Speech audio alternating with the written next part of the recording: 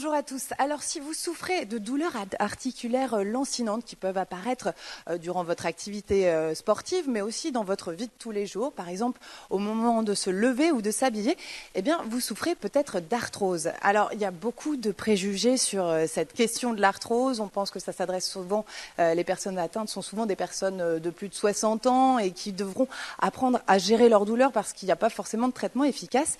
Eh bien, on verra au cours de cette émission spéciale sur l'arthrose on verra que tous ces préjugés peuvent s'avérer faux. Des personnes de moins de 60 ans peuvent être euh, atteintes d'arthrose et il existe une multitude de traitements euh, tout au long de l'évolution de la maladie. Euh, alors nous sommes réunis aujourd'hui ici avec plusieurs experts. nous sommes à la clinique du sport, c'est à Mérignac, il faut savoir qu'à quelques pas de là, d'ici la fin de l'année prochaine, verra le jour un centre d'arthrose qui réunira ces experts et bien d'autres encore. Et pour commencer donc cette émission, on va commencer tout simplement par euh, la définition de l'arthrose, hein, pour planter le décor et savoir euh, bien exactement de quoi on va parler. et donc, je suis en compagnie du docteur Rémi Dupuis, vous êtes rhumatologue. Et à vos côtés, Éric Laprelle, vous êtes médecin physique. Vous êtes en fait les, premiers médecins hein, que le, patient vient voir quand il commence à souffrir d'arthrose. Alors peut-être euh, question très générale, pas forcément facile à synthétiser pour vous, j'imagine, parce qu'on aurait pu y consacrer euh, une émission entière. Mais qu'est-ce que l'arthrose? Qu'est-ce qui nous fait souffrir euh, dans les articulations quand on souffre d'arthrose? Docteur Dupuis, peut-être. Oui, merci. L'arthrose donc est une, est une maladie du cartilage. Il s'agit d'une maladie du vieillissement du cartilage qui mmh. s'use progressivement au cours du temps, s'amincit et ainsi perd ses fonctions qu'il a habituellement au sein de l'articulation. On peut peut-être, vous avez une, prothèse peut-être, Monsieur Laprelle, vous pouvez nous montrer un petit peu en quoi ça, consiste. Euh, alors effectivement, où se situe le cartilage et qu'est-ce qui... Euh, Bien, donc le, cartilage, c'est un, un, tissu qui recouvre les, os qui participent à l'articulation. Et ce tissu permet de, de, de, diminuer les frictions entre les os, il permet aussi d'absorber les pressions qui sont exercés sur la. C'est une sorte d'amortisseur, effectivement, physiologique. Et au cours du temps, il s'use. Lorsqu'il s'use, il s'amincit et progressivement, les os euh, arrivent en contact. Hmm. Donc l'articulation euh, euh, subit une ankylose progressive et la diminution, l'absorption des, contraintes n'est plus faite. Ainsi, hmm. les os sont en contact les uns des autres, ce qui est douloureux et qui entraîne une ankylose de l'articulation. Alors on voit le rôle primordial hein, du cartilage dans l'articulation. Je vous propose d'écouter un rhumatologue euh, qui, parle justement de ce rôle un petit peu d'amortisseur du, cartilage. On écoute ce, ce sujet tout de suite, s'il vous plaît. Donc le cartilage en fait est une structure euh, élastique qui va recouvrir l'extrémité des os. Donc c'est une surface qui va protéger en fait l'os dessous des contraintes, puisque le cartilage va amortir les contraintes. Et puis ça permet également de faire coulisser les articulations. Le cartilage en fait, c'est très riche euh, en eau, donc c'est ces propriétés-là qui lui permettent d'amortir les contraintes. Alors effectivement, euh, Monsieur Laprelle, en général, les gens qui viennent vous voir parce qu'ils souffrent d'arthrose, euh, c'est quel type de douleur bah, du fait de cette usure du cartilage Alors en fait, on peut se trouver devant plusieurs situations, des situations dites de crise, où la douleur est permanente, parfois nocturne, avec une inflammation de l'articulation, et euh, la situation de douleur chronique. Hein, ce sont des, douleurs souvent euh, qui touchent les patients dans leur fonction. Mm. Pour les articulations portantes comme la hanche et le genou, ça va être la marche. Pour d'autres articulations comme la main, ça va être les facultés de préhension ou la mobilité de l'épaule. D'accord. Quelles sont les zones qui sont finalement le plus touchées euh, La plupart de vos patients souffrent de quelle articulation? Tout d'abord, la, souffrance principale, c'est quand même les articulations portantes. Mhm. Le genou, la hanche, euh, bien sûr, c'est la plainte des patients. Après, l'arthrose elle-même euh, euh, touche au départ principalement la colonne vertébrale. Ensuite, par ordre de fréquence, le genou, puis l'articulation du pouce, qui sert beaucoup à l'appréhension, et ensuite la hanche, la cheville, l'épaule, hmm. euh, c'est plus rare, mais l'arthrose se situe aussi dans ces articulations-là. D'accord. Est-ce qu'il y, a un facteur euh, héréditaire? Est-ce qu'on peut être euh, atteint de, de, père en fils C'est une question un petit peu difficile. On rencontre effectivement des familles d'arthrosiques. Alors il y a sans doute un élément génétique avec des anomalies du collagène. Hmm. on retrouve également dans la génétique des malformations qui peuvent entraîner des défauts d'axe et qui entraînent des arthroses, alors plutôt d'un type mécanique. Et on a mis en évidence effectivement des, anomalies génétiques pouvant dire que l'arthrose était héréditaire dans, dans certains cas. D'accord. quand on parle d'arthrose, alors on on mélange peut-être certains termes. Hein. Euh, on parle d'arthrose, on parle parfois d'arthrite, de rhumatisme. Euh, est-ce que vous pouvez nous éclairer, peut-être, euh, docteur Dupuis, sur justement la, différence entre ces différents termes et ces différentes maladies L'arthrose et l'arthrite, c'est pas la même chose? Tout à fait. Donc, quand on parle d'un rhumatisme, en général, il, peut, il, y a des rhumatismes qui sont liés à l'âge, hein, liés au vieillissement du cartilage, mm-hmm. c'est l'arthrose. Et il y a des rhumatismes inflammatoires euh, dont le mécanisme est totalement différent. Ce sont des mécanismes inflammatoires primitifs, c'est-à-dire euh, auto-immuns souvent, ou microcristallins, c'est-à-dire ce sont des cristaux, par exemple, euh, la maladie qui est très connue, c'est la goutte, cristaux d'acide urique. Et ces maladies inflammatoires, donc l'arthrite, peuvent toucher aussi les enfants. Ce n'est pas lié à l'âge. Oui. En fait, le rhumatisme, c'est un peu le terme global qui va regrouper l'arthrose, l'arthrite. Voilà, il y a des rhumatismes arthrosiques, des rhumatismes inflammatoires il y a un petit malentendu avec, avec la population. Mhm. Nous, on appelle rhumatisme les maladies inflammatoires et euh, les, patients appellent rhumatisme l'arthrose. Oui, c'est ça. Donc c'était intéressant peut-être de, remettre ça, les choses à leur, place. On va parler maintenant du patient. Euh, c'est vrai que ça, on a toujours un peu l'image d'une personne âgée qui pourrait être en surpoids. Euh, finalement, les patients que vous avez dans, dans vos cabinets sont, sont de différentes, ont différents modes de vie, ont des âges différents. Euh, est-ce que vous pouvez nous dresser quelques, quelques portraits types de, patients? Certes, euh, la majorité des patients souffrant d'arthrose sont quand même des patients âgés. plus de 65 ans. Ça, c'est la majorité des, des, cas. Il y a, euh, bien sûr, l'arthrose d'un processus qui peut démarrer dès l'âge de 40 ans en fonction de, de l'activité qu'ont eu les gens, en fonction aussi euh, de, des traumatismes éventuels qu'ont eu ces personnes sur leurs mhm. articulations. Donc on peut avoir des gens beaucoup plus jeunes souffrant aussi d'arthrose. Quels vont être les caractères aggravants alors? Les caractères aggravants, c'est euh, d'abord euh, le surpoids, qui est mhm. pour les articulations portantes en tout cas, mais aussi sur les articulations digitales, puisqu'il semble que le tissu adipeux, lorsqu'il est en excès, est une action délétère sur le, sur le cartilage. On s'est rendu compte que la, proportion d'arthrose digitale, donc des doigts, chez les obèses, était plus importante que dans la population générale. Donc il y a mhm. probablement là euh, une action, euh, une mauvaise action des cytokines du tissu adipeux sur ça. Ensuite, euh, le surpoids entraîne aussi par une hyperpression sur les articulations portantes mm.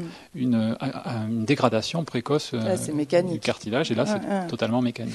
Euh, les sportifs aussi ont a priori de l'arthrose peut-être plus jeune que les autres? Oui, l'exemple typique c'est l'entorse grave du genou avec la lésion du ligament croisé qui, on le sait, hein, après 15 à 20 ans d'évolution, donne de mm. Façon systématique des lésions arthrosiques. Elles ne sont pas toujours symptomatiques, elles ne donnent pas toujours de signes euh, ou de gènes, mais en tout cas les lésions sont, là en permanence et on se trouve effectivement avec des destructions articulaires, cartilagineuses chez des patients dans une tranche d'âge très jeune. Ça pose d'ailleurs d'importants problèmes de traitement et même d'adaptation de la profession. Et alors, c'est vrai que pour vous, c'est très important du coup de définir bien quel type de patient vous avez en, face de vous. C'est ça qui va déterminer un petit peu les, les, types de traitements vers lesquels vous allez les orienter? Oui, enfin, définir euh, en fait ce qui fait, euh, quels sont leurs facteurs de risque en fait de progression de l'arthrose. C'est ça qui est important pour nous, parce qu'il va falloir les corriger pour limiter euh, les dégradations ou la vitesse de dégradation de leur cartilage. Donc, dans ce sens-là, en fonction de, leur profession, par exemple, du port et de charge. De leurs envies, est-ce qu'ils veulent continuer à faire du sport En fonction de leur sport, hein, quel est le sport Bien sûr, il n'est pas question d'arrêter le sport. Au mm. contraire, c'est très bon pour, pour l'activité de l'articulation, pour la santé de l'articulation. Mais mm. euh, parfois, il faut adapter leur, euh, leur activité physique. Quelqu'un qui court beaucoup avec beaucoup d'arthrose au genou, on va plutôt le, mm, lui proposer ou le pousser à faire du vélo, par exemple, hein, parce qu'on sait que ça sera très bon pour son articulation et sûrement qu'il marchera mieux après en, faisant du vélo. On reparlera justement euh, du sport, euh, la, pratique du sport avec de l'arthrose. Euh, j'invite à nous rejoindre de docteur Alain Sylvestre. Vous êtes, vous, radiologue. on retrouvera Monsieur Laprelle dans, dans quelques instants. Alors peut-être parler avec vous de, l'étape du diagnostic, hein, puisque forcément c'est l'étape clé. Les premières, euh, les premières alertes, elles viennent de la douleur que, que, peut, que peut, ressentir le patient. Euh, il y a un moment où il faut voir ce qui se passe euh, sous la peau, il faut voir ce qui se passe à l'intérieur. Il faut passer par l'image pour vraiment poser un diagnostic. Oui, bonjour, merci. Mhm. oui, effectivement. alors Antérieurement, l'arthrose était définie par des signes radiographiques, donc avec des becs de perroquet, euh, des géodes, un pincement articulaire. Mais bon, on arrivait déjà un peu tard. Et depuis euh, plusieurs années maintenant, on a des moyens d'imagerie en coupe qui permettent de visualiser directement le cartilage et de pouvoir, euh, à des étapes très précoces, diagnostiquer ces lésions du cartilage qui vont faire le lit de l'arthrose. Alors, de quel type d'outils vous disposez en termes d'imagerie? Donc, on dispose principalement de trois sources d'imagerie. Donc, la radiographie standard, mais comme je le disais, ça arrive un peu tard puisque ça donne des signes déjà d'arthrose évoluée. Et on ne voit pas le cartilage en fait dessus, c'est ça? et Effectivement, euh, on voit que les conséquences de la maladie du cartilage, mais on ne voit pas directement le cartilage.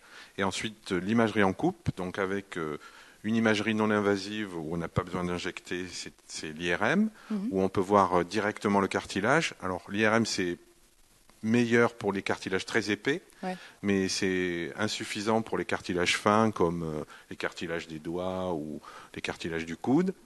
Et donc quand on veut voir beaucoup plus finement euh, les lésions du cartilage, on utilise l'arthroscanner mhm. qui nous permet d'avoir des coupes de 650 microns, donc 0,5 mm en mhm. gros où on peut voir des petites fissures du cartilage, mais là, ça nécessite l'injection d'un traceur dans l'articulation du patient. Il va permettre quoi, justement, ce traceur Il fait apparaître... Ce traceur va permettre de, de surligner le cartilage et de surligner les lésions euh, du cartilage. Donc, en fait, ça permet de voir des fissures qui sont de l'ordre du millimètre, euh, chose qu'on a du mal à voir euh, un IRM standard.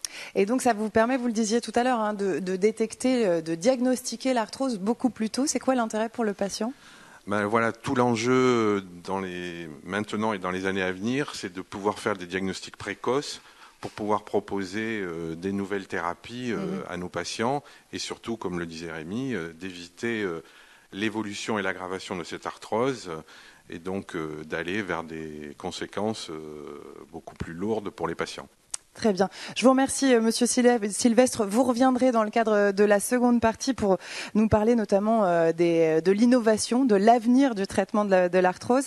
Euh, J'invite le docteur Laprelle à nous rejoindre, puisqu'il va être question maintenant de, de prévention et de traitement. Euh, alors, c'est vrai que la prévention, c'est peut-être d'abord de la prévention au long cours, travailler sur les problèmes d'obésité, le problème, enfin, savoir adapter aussi sa pratique. Euh, comment se fait la, prévention primaire en fait? Alors, docteur Laprelle, allez-y, ou peu importe, qui, vous, qui souhaite. Alors la prévention primaire, comme euh, je l'ai dit en préambule, c'est euh, repérer les, facteurs de risque hein, des patients. Donc c'est vrai que corriger surpoids, corriger l'activité physique néfaste, à ce moment-là l'activité traumatique hein, pour l'articulation, c'est très important au niveau de l'alimentation, aussi avoir une bonne alimentation, une bonne hygiène de vie, c'est très important pour la santé, mais aussi pour les articulations. Finalement. Ça veut dire que vous orientez vos patients parfois vers un diététicien Tout à fait, tout à fait. C'est assez, même très fréquent. Mhm. On le propose en tout cas. Il faut que les gens y adhèrent, bien sûr, et qu'ils comprennent que c'est, euh, ça ne réglera pas le problème immédiatement, mais ça va euh, améliorer la situation dans les années qui, qui, suivent. Euh, donc la prévention primaire passe par là. D'accord. Euh, avant, la, prescription de, médicaments, est-ce qu'il y a déjà des traitements envisageables? On parle notamment souvent de rééducation. C'est une étape clé? La rééducation, c'est une étape clé, oui, du traitement de l'arthrose. Ça accompagne bien entendu le traitement médical. Hein, S'il n'y a, pas de possibilité de rééduquer efficacement quelqu'un qui a mal ou qui est en poussée inflammatoire, mais c'est très important de travailler conjointement, justement, euh, de, façon à permettre de faciliter les programmes de rééducation qui sont très importants pour justement maintenir la souplesse des articulations, la qualité musculaire, qui sont un élément indispensable euh, pour maintenir le plus tard possible une bonne fonction articulaire. Alors justement, on va écouter à ce propos un, une interview justement sur l'importance de la rééducation et de la kinésithérapie sur, le traitement de l'arthrose. Quand on fait, nous, le, bilan physique à l'examen clinique, on essaie de rechercher ce qu'on appelle des déficiences, c'est-à-dire un déficit musculaire, un déficit de souplesse des tendons. À ce moment-là, on peut mettre en place euh, des euh, techniques de kinésithérapie pour corriger au maximum ces déficits et prévenir euh, l'arthrose. Le, suivi du kinésithérapeute, au moins euh, au départ, apporte un complément intéressant euh, car euh, il, permet donc aux patients d'être encadrés et de reprendre une activité physique douce sans prendre de risques. Alors on le voit, hein, la rééducation peut permettre le, le maintien d'une activité sportive. C'est pas parce qu'on a de l'arthrose qu'il faut s'arrêter et devenir sédentaire, ne plus faire de sport du tout. Absolument pas, c'est même le contraire, mais il faut bien sûr adapter l'activité euh, sportive, physique et sportive, puisqu'on peut parler plus généralement d'activité physique, il n'y a pas forcément que le sport, mais il y a aussi l'entretien physique, mhm. euh, le maintien d'une forme générale, c'est très important pour, euh, pour être traité. Mhm. C'est aussi très important de détecter des anomalies axiales précocement ou des déformations, par exemple de la hanche, qui, dont on sait qu'elles vont être le lit futur de l'arthrose. Et donc on peut adapter à partir de ces données l'activité physique, donner des conseils d'activité. Les patients qui vont être atteints d'arthrose ou de lésions cartilagineuses débutantes des surfaces portantes, on va plutôt les orienter vers des sports en décharge articulaire ou en tout cas leur conseiller ça va être quoi les, sports en décharge Alors la natation, le vélo, euh, ça peut être la salle de gym à condition euh, d'adapter un petit peu et d'éviter les, impactions répétitives. Le pilate par exemple Le pilate c'est une activité qui est excellente, hein. c'est une activité ce qu'on appelle isométrique qui permet de développer les muscles sans être agressif pour les articulations. donc c'est une activité à conseiller. Euh, en éliminant peut-être quelques positions extrêmes pour certaines articulations. Oui, c'est ça. En fait, on peut continuer le sport. Le tout est d'adapter, euh, d'adapter la pratique. Quoi. Absolument. D'accord. Euh, dans la rééducation, il y a aussi quelque chose. Enfin, on peut travailler le, côté antalgique. il, y a, il y a notamment des, massages, des drainages. voilà. ça peut être quoi en termes de rééducation C'est tout un pan de la prise en charge physique hein, qui va compléter la prise en charge médicamenteuse, que ce soit les comprimés ou les injections locales. Euh, on, dispose de techniques de massage, techniques de drainage, de techniques, tout ce qui tourne autour euh, de ce que l'on appelle la physiothérapie, c'est-à-dire euh, l'ensemble des courants, des ultrasons qui permettent de mhm. limiter les phénomènes d'inflammation. Ça, ça limite la douleur, du ça coup. Ça limite la douleur, mhm. et quand on limite la douleur et l'inflammation, on permet de passer au cap suivant, qui est un cap plus préventif. D'accord, parce que si on a moins mal, on fait, fait plus, on a moins de raideur dans, l'articulation, on se permet de. C'est difficile pour un patient de faire des exercices de rééducation euh, sur une articulation inflammatoire douloureuse à la mobilisation. Mhm. Donc c'est un préalable nécessaire. Euh, il y a également euh, du matériel hein, à disposition, des appareils, des semelles. On peut, on peut travailler aussi sur d'autres outils. Alors on travaille sur d'autres outils, on parlait des axes, c'est très important mhm. sur tous les membres inférieurs.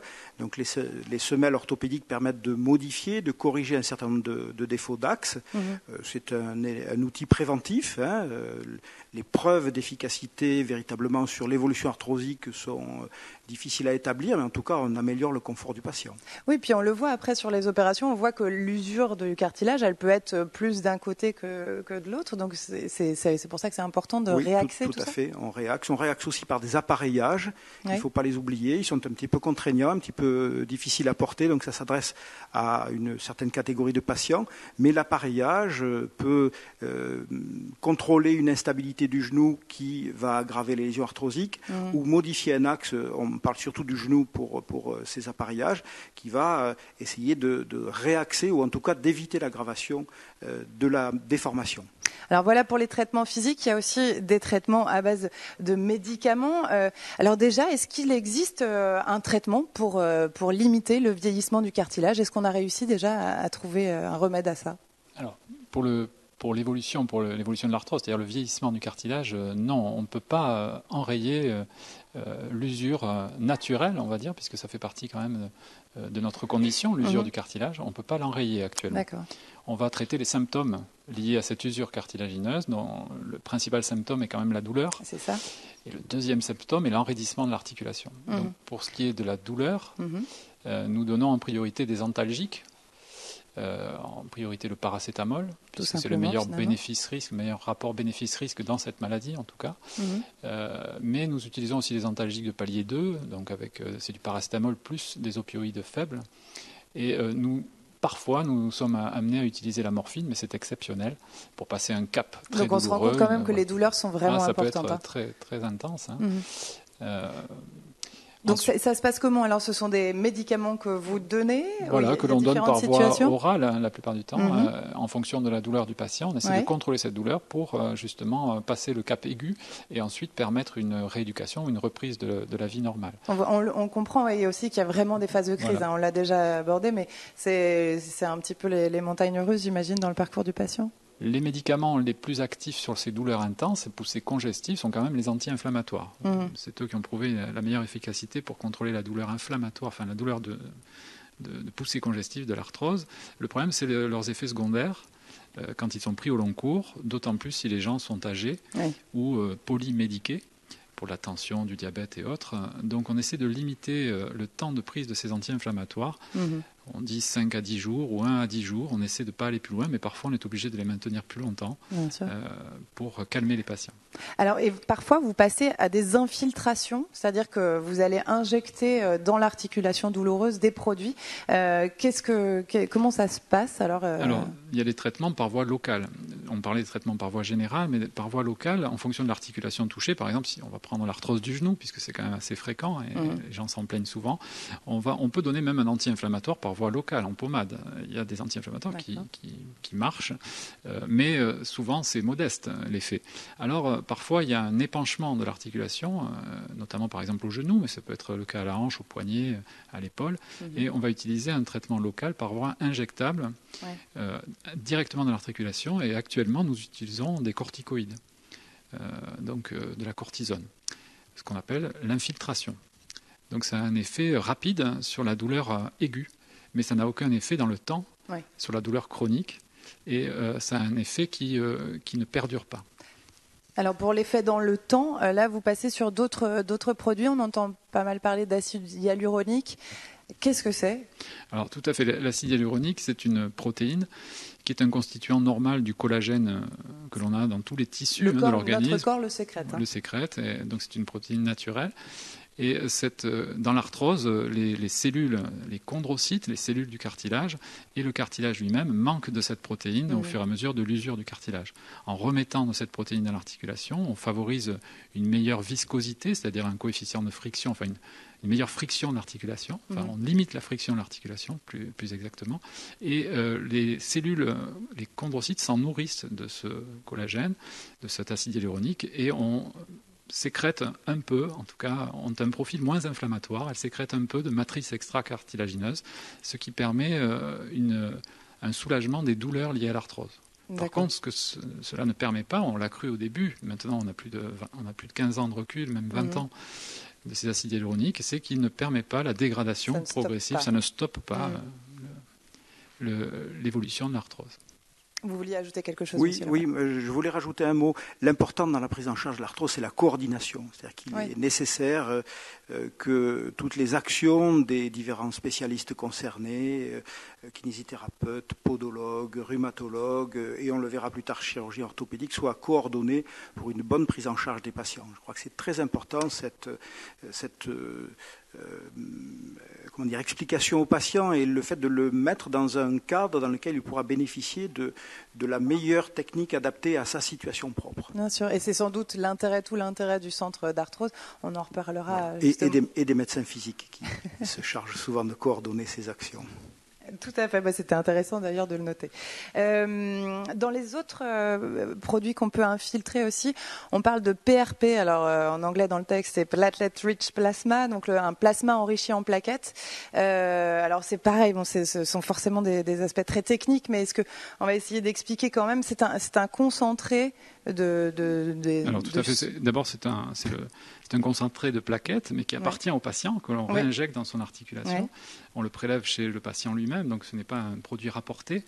Euh, et on concentre ces plaquettes dans un culot. On sait que lorsqu'on concentre des plaquettes, lorsqu'on les active avec un produit euh, particulier, elles vont, euh, elles vont sécréter ou, ou cracher entre guillemets dans le, dans le substrat des, des cytokines, c'est-à-dire des petites protéines mhm. qui, vont, qui ont une action anti-inflammatoire pour le cartilage, pour la synoviale, c'est-à-dire la membrane qui nourrit l'articulation, mhm. et, et probablement euh, ont une fonction de stimulation des, chondrocytes, toujours pareil, ces cellules. Donc euh, elles font du bien au cartilage. Ça permet quoi Une cicatrisation? Tout à fait. Ça, pour l'instant, ça, a montré que ça avait une action sur la douleur. Oui. In vitro, c'est-à-dire quand on, fait des cultures cellulaires, on voit que les cellules vont mieux, elles sécrètent euh, mmh. de, de, bonnes choses pour le cartilage. Par contre, on ne sait pas trop ce qui se passe à l'intérieur de l'articulation pour l'instant, les, premiers travaux sont très intéressants, puisque mais euh, ne montrent pas là aussi que ça ralentit euh, la progression de l'arthrose, en tout cas pour l'instant. Pour l'arthrose, il faut du temps pour voir euh, les effets d'un traitement. ça va soulager le patient combien de temps? Une injection comme ça? Alors, pour, pour, le, pour les acides hyaluroniques, par exemple, c'est en moyenne, quand les gens sont soulagés, et tous les gens ne sont pas soulagés par ça, c'est à peu près 70% des gens. Ah oui. Euh, quand ils sont soulagés, ils vont l'être à peu près une année, en moyenne. C'est une moyenne, donc il y a des gens, ça mhm. va durer 2-3 ans, et des gens qui ça va durer 6 mois. Voilà, mais euh, on en est là pour l'instant. Donc il y a encore beaucoup de choses hein, de toute façon à, étudier, à continuer à, observer pour savoir déjà euh, le nombre, la répétition de ce genre d'injection, euh, quels sont les effets sur le long terme. C'est là tout l'intérêt aussi de pouvoir travailler ensemble et de, et de, collecter toutes ces informations-là. Oui, et ces, ces techniques sont d'autant plus efficaces que le patient, le patient y est préparé sur le plan rééducatif, sur le plan de sa souplesse articulaire, de sa qualité musculaire. Très bien. Eh ben, c'est un traitement coordonné, hein. c'est très important. L'injection d'un produit ne suffit pas dans On sent bien qu'effectivement c'est La prise d'un médicament ne suffit pas, il faut que ça soit coordonné avec euh, la rééducation et l'entretien physique euh, par la suite et l'adaptation de l'activité du patient. Très bien. Bah, écoutez, je vous remercie euh, beaucoup, messieurs, pour cette première partie. On se retrouve dans un instant pour la seconde partie. On traitera notamment de l'intervention chirurgicale. À tout à l'heure.